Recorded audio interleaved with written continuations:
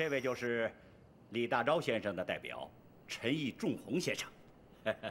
陈毅，你就是陈毅，杨军长，这位仁兄是他呀，可是咱们四川的名人，打败北洋军的朱德朱玉阶。玉阶兄，钟宏兄，恩来早就提过你，幸会幸会啊！哎呀，玉阶兄的大名是早有耳闻，谁不知道你是咱们四川的护国名将、将军留学生？可惜呀，在武汉，在上海，我们几次失之交臂啊，终于见面了。是啊，认识你非常的高兴。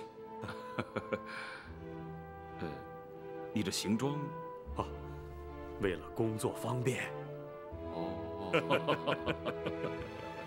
杨森给大昭同志去信，想参加国民革命，希望大昭给他派一个代表。大钊同志于是派我来和他商谈参加国民革命，支援北伐。哎，你猜怎么着？一听要他出兵打吴佩孚，他又反悔了。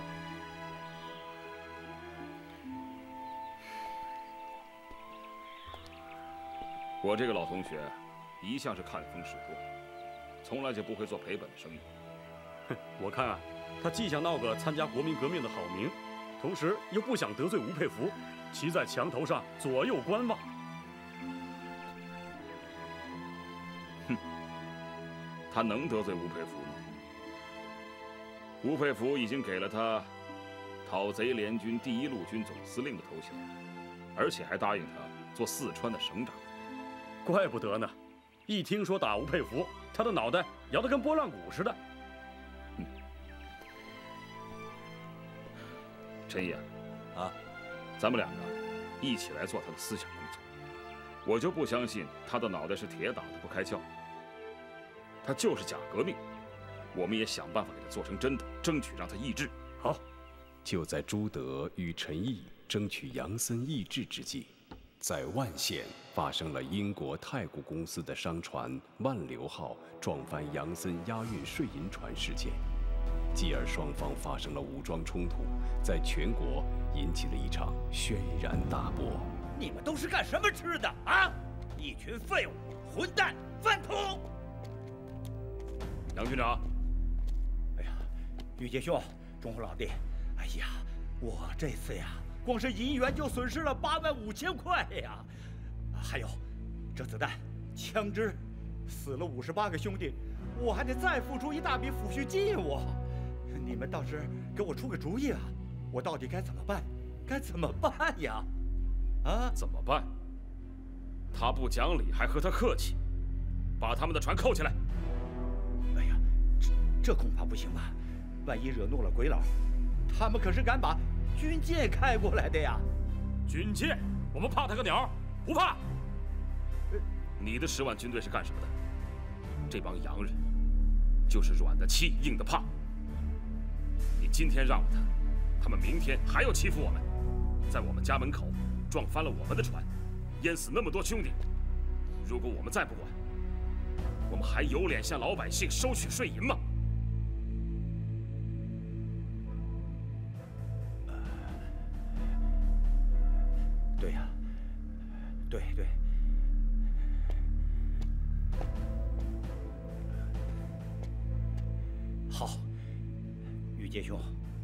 听你的，我立刻就扣他们的船。去，去把鬼佬那个万流号给老子扣下来。是。你们还愣着干什么？去啊！是是。让开！让开！让开！让开！报告，不好了，不好了！怎么了？快说！军长，我们派去检查的人全被缴了械，赵旅长和一些兄弟被打伤，生死不明。他们军舰上的大炮已经对准了市区。什么？你再说一遍！局长，一触即发呀！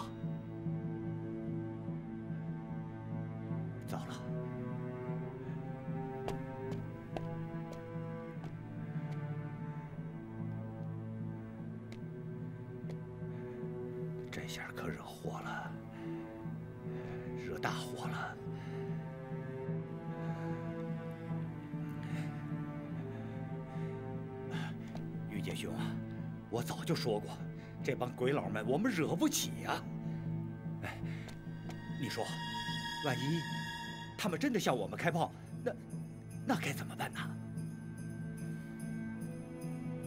既然我们惹了，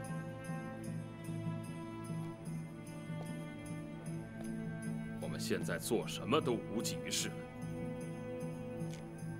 要惹就惹到底，看他们的大炮硬，还是我们中国人的骨头硬。英国太古公司不是还有货轮的吗？统统扣下，不能让他们在我们的家门口欺负我们。好。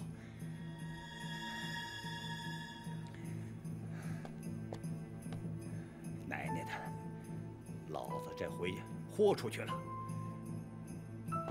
来呀，去，传我的命令，凡英老太古公司的船，一律给我扣下。是。杨局长，干得好！立即电告四川省政府，向英国领事馆提出抗议，让他们赔偿损失，逼着这些鬼佬和我们谈判。好，好，来呀，到，就按照朱将军说的，起草电文，立即电告省政府，快！是。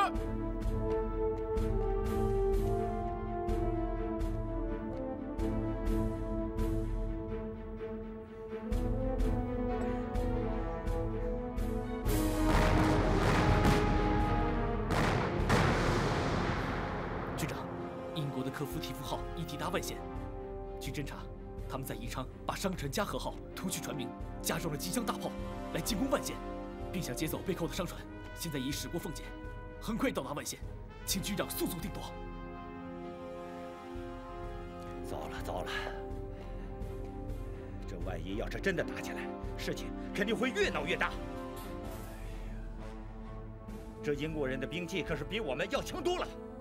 帝国主义在我们的国土蛮横无理，毁我船只，损我钱财，不但不赔礼道歉，反而派军舰来袭击我，这是明显的侵略。如果我们屈服了他们，这对我们军人来说就是一种耻辱。我们还配做中国人吗？在我们同胞面前还能站得起来吗？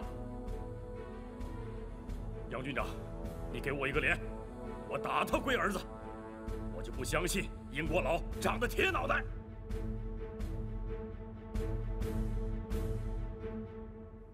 打！简直是欺人太甚！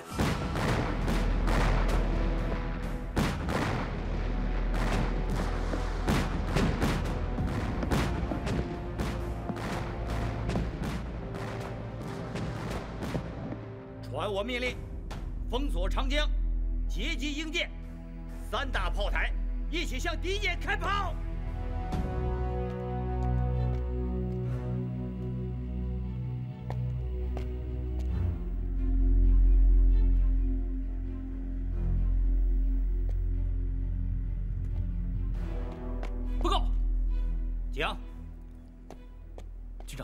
长，吴佩孚来电，要我们立即放弃反英斗争，出兵东下，去打北伐军。局长，看来北伐军在武汉已占上风了，吴佩孚怕是顶不住了。我们是否出兵啊？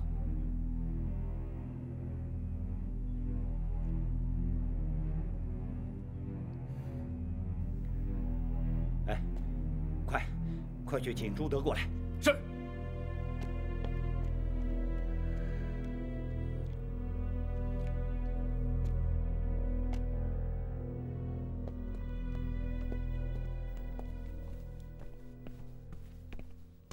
哎呀，玉阶兄，这一仗我又是上百万元的损失啊！哎我们是有损失，尤其百姓是无辜的。可是这一仗我们也有收获呀。帝国主义从此不敢再小瞧我们。他们在我们国土上横行霸道，不要以为没人敢惹他们。近百年来，我们受尽侮辱。这一仗，我们打出了中国人的骨气。子惠兄，你无愧于川东父老，你收取了川东百姓的税银，可是你为百姓们争了口气呀。你知道吗？中华民族四万万同胞被你这一仗给打醒了。大家都知道，帝国主义早晚会被打倒。大家只要齐心协力，万众一心，就不怕外来入侵。可是，玉阶兄，这眼下怎么办呢？这边的麻烦还没完，那边吴佩孚又一再来电催我出兵啊！你去吗？我，哎呀，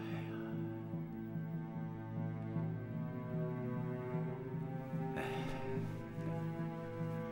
玉阶兄啊，你是不知道，这吴佩孚也是对我有恩呐啊，啊而且他也是对我许了愿的，他让我出兵，就肯定会给我出钱的呀。可是如果我要是不去的话，不会让人家说我是个不义之人吗？子辉兄，同英国人打的这一仗，不管输赢，你都打出了中国人的骨气。你不是口口声声要参加国民革命吗？可是现在，国民革命军正在北伐，你却要帮着吴佩孚去打北伐军。只要你这一走，你的名声可就一落千丈了。陈毅从重庆传来消息，英国派了五支军舰向我们开过来只要你这一走，你的损失可就大了，不仅仅是上百万。现在全国抗英，全万县，乃至全国的人都在支持你，你却要帮助吴佩孚。你这一走，大家还会支持你吗？啊，子辉兄，朱德希望你三思啊！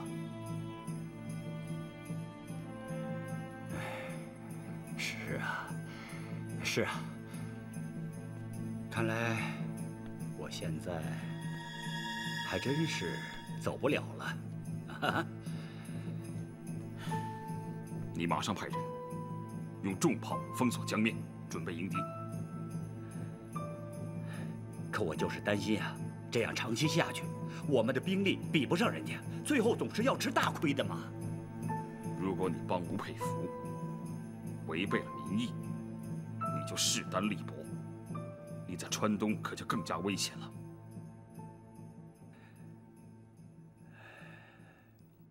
那依着玉阶兄的意思是，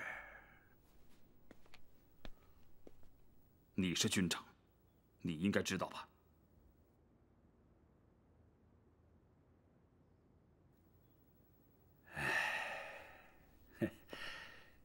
玉阶兄的意思，我明白。啊，哎呀，这些年呀、我要不是因为受吴佩孚的大恩呐、我早就奔了广东国民革命政府了。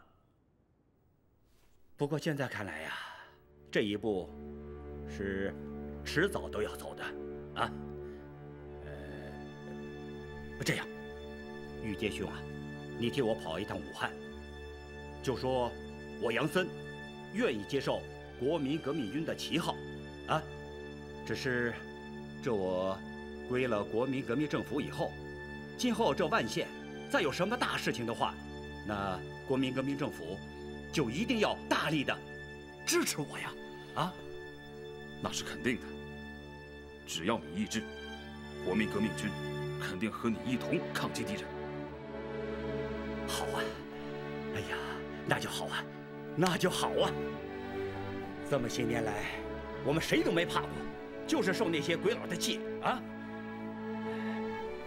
这样，玉杰兄，你立刻赶往武汉，马上替我联络广东革命军总司令部。好，我马上去。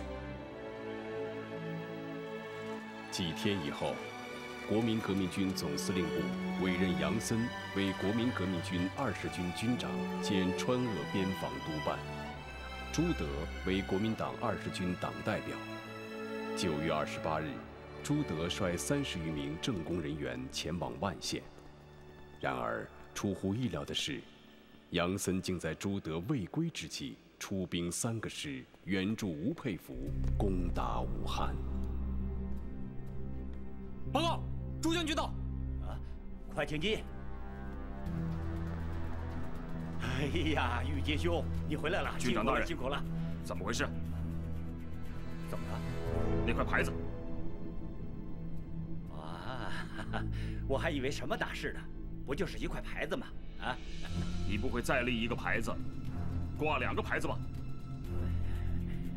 哎呀，玉阶兄，你刚回来。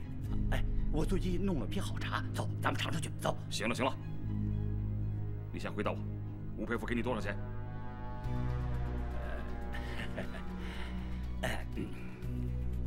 玉杰兄啊，你我都应该为自己考虑考虑啊。呃，这个吴佩孚一直答应让我来做这个四川省的省长。咱们兄弟有了这个位子，将来整个四川可就是咱们的了啊！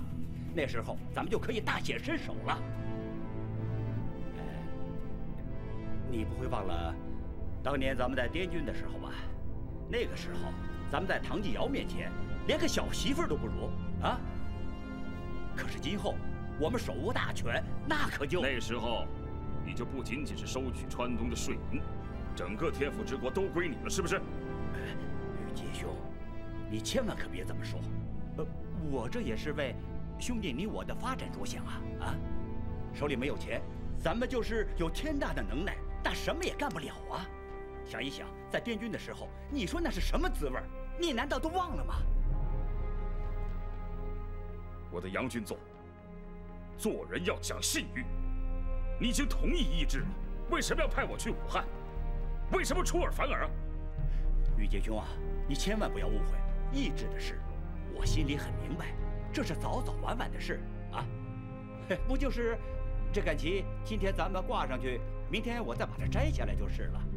意志就是这么简单。哎，可是咱们现在这个样子。去跟人家谈意志，人家是一个大子儿也不会给咱们的，啊！可是如果我们坐上了四川省长的位子，啊，再去跟他国民政府谈意志，那这可是一笔大买卖了。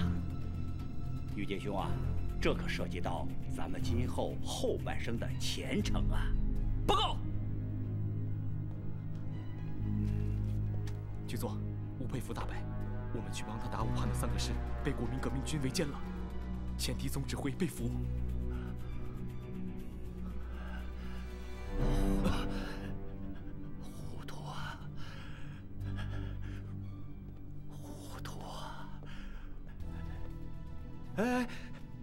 玉阶兄，玉阶兄，玉阶兄！来来来来，好，摆正了啊，慢点啊，走，对对对，往上往上，好，好，好，可以了。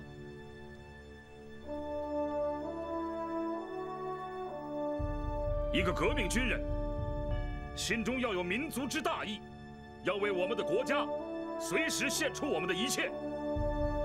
现在列强践踏我们的国土，我们岂能苟且偷生？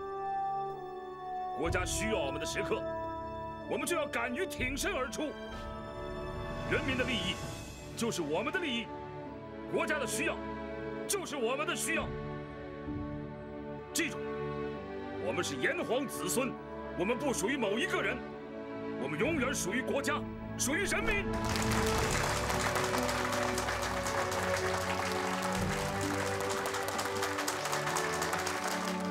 现在。大家一起唱，打倒列强，预备，唱。打倒列强，打倒列强，除军发，朱军发，革命革命革命。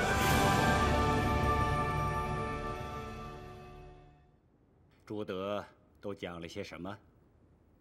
讲国民革命，打倒列强，除军阀，三民主义。哼，还讲了什么？还有联俄联共扶助农工，都有哪些人去听啊？他们政治学校的时候，刚开始有四百多人，后来人越来越多，士兵很多，有连长、营长也跟着去听了。这院子里都快挤不下了，门外、窗外也站了好多人。那你们为什么不去阻止一下？军长，他可是你的同乡、同学、同事、朋友啊！现在又是广东国民革命军的党代表，您不发话，我们哪敢呢？哼，这还了得！长此以往，这么下去，这就不只是意志了，啊？这是我的军队，还是他朱德的军队？军长，只要你发话，我立马带兵就去把他抓了。等一下，他朱德现在可是广东国民革命政府派来的党代表，啊？你敢把他抓了，那我这个国民革命军的旗帜挂还是不挂了？嗯？那咱也不能眼睁睁的看着他挖咱们墙角啊！他讲的那个除军法，我看是有点那个对着军长的意思。这帮年轻官兵，都被他讲的那一套给迷惑住了。长期下去，这二十军里恐怕只有朱党代表，没有杨军长了。不能让他再待在这里了。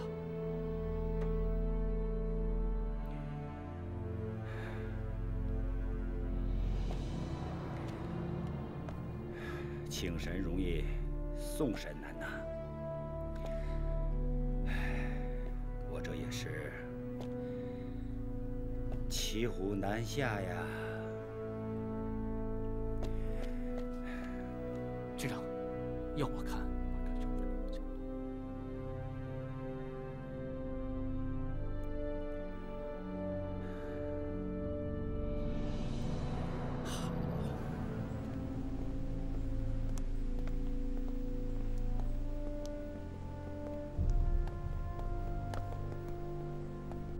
玉杰兄，呃，自从你来了以后，帮我打了鬼佬，啊，还帮我办起了军事政治学校，你功劳可不小啊！啊，我哪有什么功劳？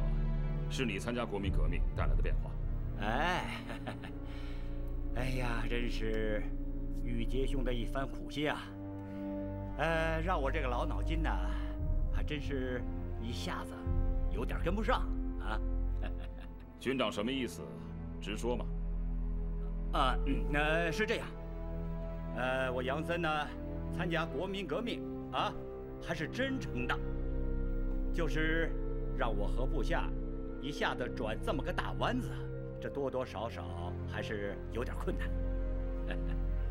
军长的意思是想把国民革命的旗再重新摘下来。啊？啊不不不不不不，这旗不能摘。啊，这旗不能摘。玉杰兄啊，我是想，想请你带一批国民革命思想政治觉悟高的青年军官，啊，组成一个军事政治考察团，到武汉去学习考察一段时间啊。至于这个时间嘛，短一点啊，呃，长一点，或者更长一点都没关系，啊，人人员。人数一百人以内，你自己就可以定，啊，呃，啊，对了，等学习考察回来以后啊，我们国民革命二十军就能气象一新，就可以办成一个真正的国民革命军了，你说呢？我明白你的意思了，玉杰兄啊，这个考察团的经费我都已经备好了。那你来看一下啊，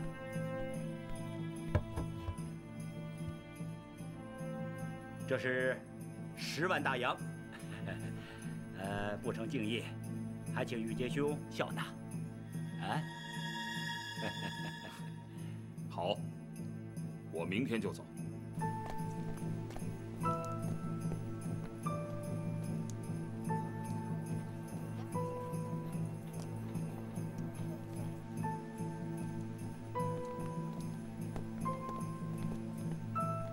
军长，咱要不要把这牌子给他摘下来？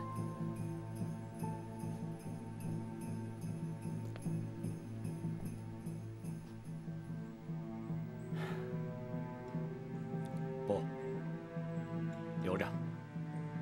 哼，先留着。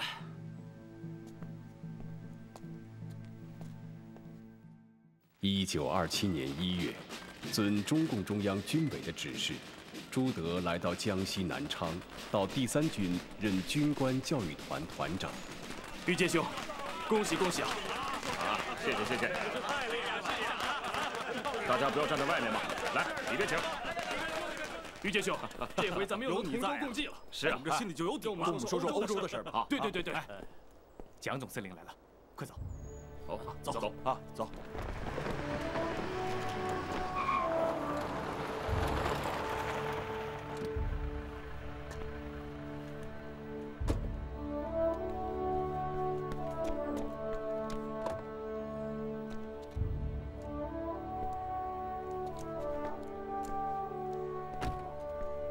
一只，总司令驾到，有失远迎。哪里用得着远迎？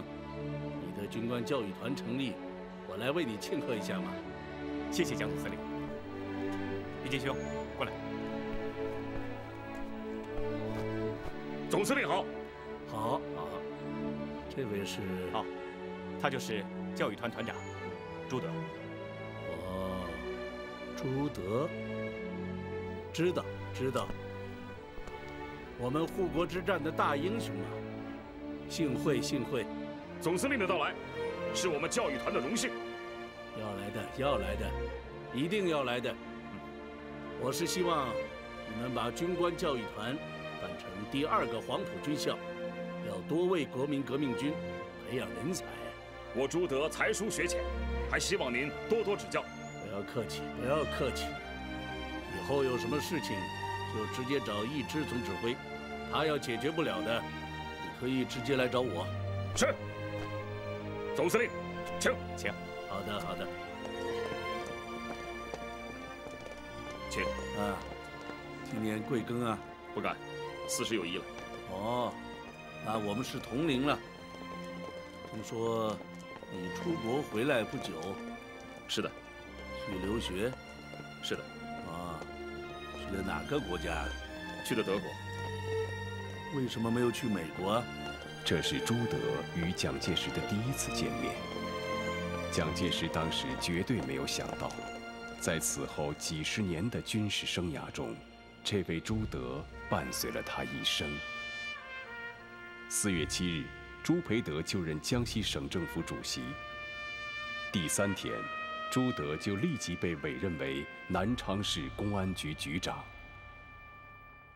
然而五天之后，风云突变，蒋介石在上海发动了震惊中外的“四一二”反革命政变，在南京另立国民政府，开始抓捕共产党人。朱德的挚友孙炳文就是在这一次不幸被害，国共合作终于破裂了。与蒋介石不同的是。时任江西省政府主席的朱培德别出心裁地搞了一个礼送共产党出境。当时正在赣东执行公务的朱德匆匆赶回南昌。这一天，朱培德在省府摆设了一次盛大的晚宴，来礼送他的老同学朱德。今天能把各位同僚，还有我们讲武堂的兄弟请来，主要是。为玉阶兄送行。玉阶兄，十年前已是少将旅长，护国名将，军中谁人不晓？能屈尊做教育团长和公安局长，也是我愧对长兄了。然时势所迫，玉阶兄要离我等而去了，让兄弟们内心着实不安。想当初，我们在讲武堂，玉阶兄乃众同学之翘楚，玉阶兄之德才皆在我辈之上。然时光流转，不能让我等同居庙堂，甚憾。各位，请大家举起杯，为玉阶兄践行，干杯！玉阶兄，坐。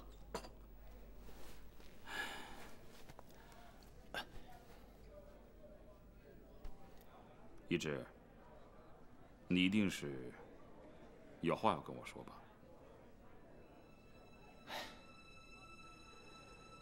适才人多不便，但说无妨。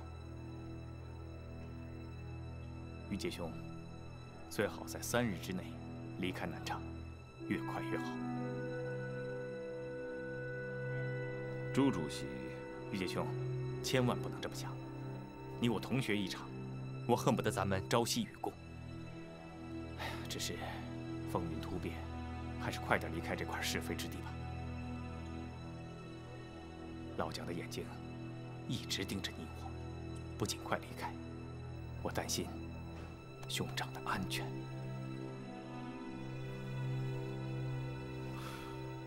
你放心吧，我会跟咱们的同学同僚说。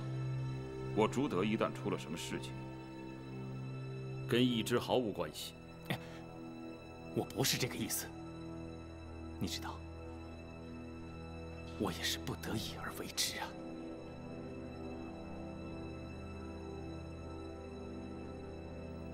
我相信，凡是反共的人不会有好下场的。四一二，我们永远都不会忘记，因为。那是违背中山先生的遗愿，希望你也三思而行。我朱德早已经把自己的生死置之度外了。当然，在江西，我也不大相信有谁敢打你玉阶兄的主意。但是我还是怕，一旦出什么意外，你让我朱培德怎么跟同学们解释？到时候，咱们连……朋友都做不成了。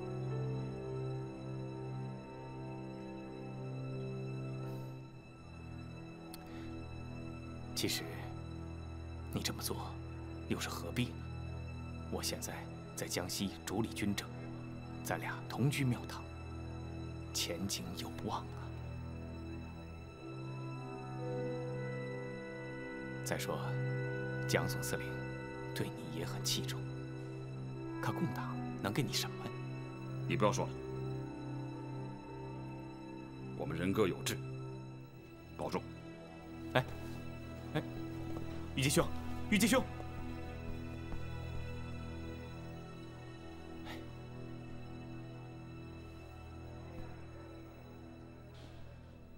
被李宋离开南昌的朱德，去武汉参加了中央军委召开的军事工作会议。随后又受中共中央派遣返还江西。这时候，南昌武装起义的准备工作全面开始了。你我自上海分手之后，我又回到了滇军。这几年看似风光，其实呢，不过如此而已。你从欧洲回来之后，我本以为我们兄弟俩又可以在一起同舟共济了，可是没有想到这么快就要分开了。如今天下动荡，风雨飘摇，权高位重，恐怕是祸福难料啊！你我追随中山先生革命快有二十年了吧？可是孙先生的愿望一直没有实现，所以我辈也是无奈，只能是顺其自然，漂泊余生了。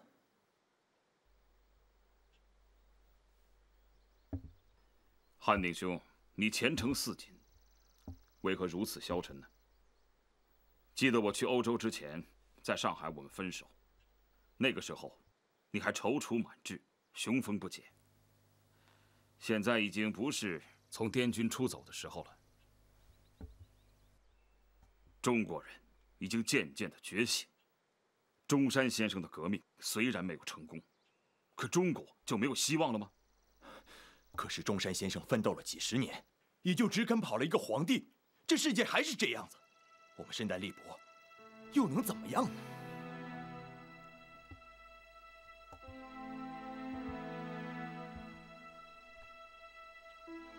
汉鼎兄，各地军阀拥兵自重，一心想扩大自己的地盘，军阀混战那是难免的。可是现在正是发展革命的好时机啊！汉鼎兄，我们把队伍拉到广东去。中山先生虽然革命没有成功，我们可以重新再来，像苏联一样建立一个自由、民主、公正的国家。汉鼎兄，你在前面走，我朱德跟着你。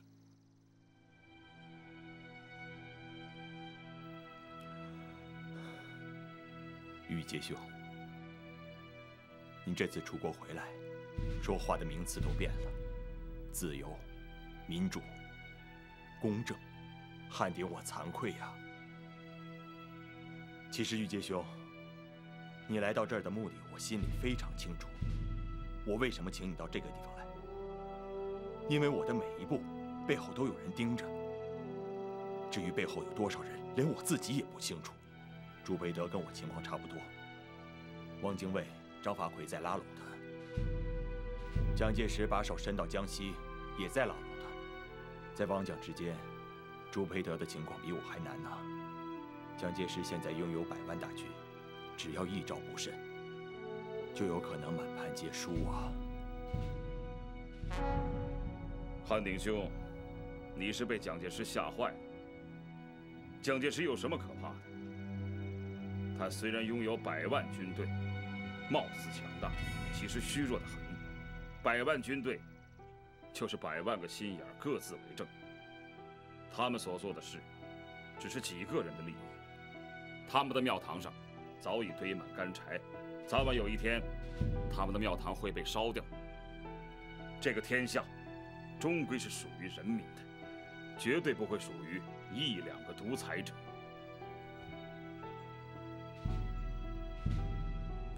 于杰兄，我实在是佩服你的雄心，你的胆识。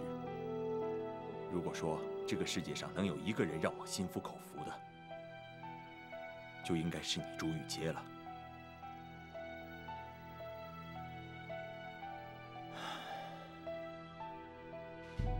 只不过，这天下大势已无可逆转。况且我今汉定上有父母，下有妻子。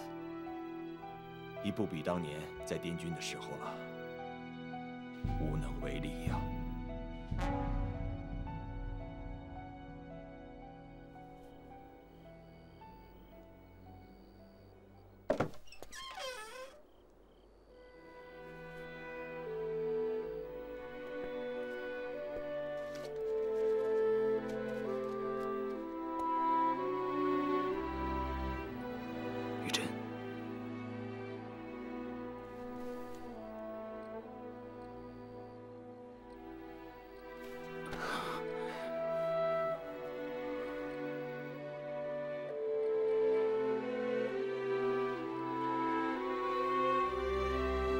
妻儿睡了，睡着了。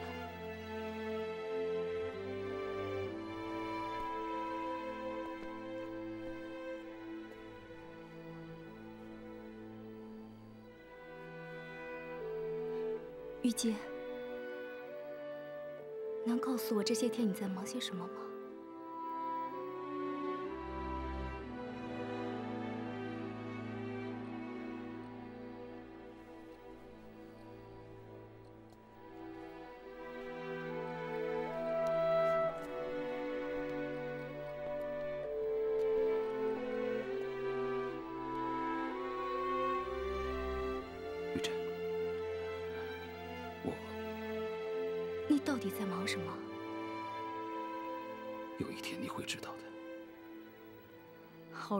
你从欧洲盼回来，我和琪儿还是天天见不着你。对不起，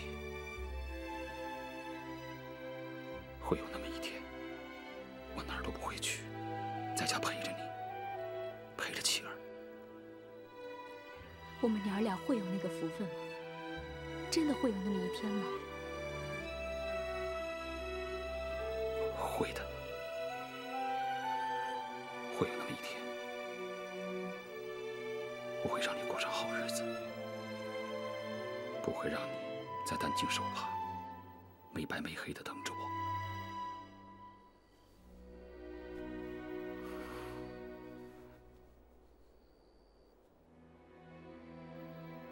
玉珍。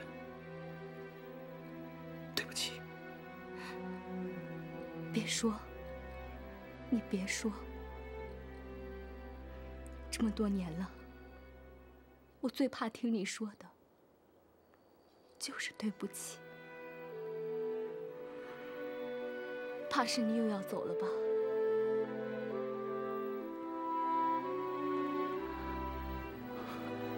不，这次不是我走，不是你走，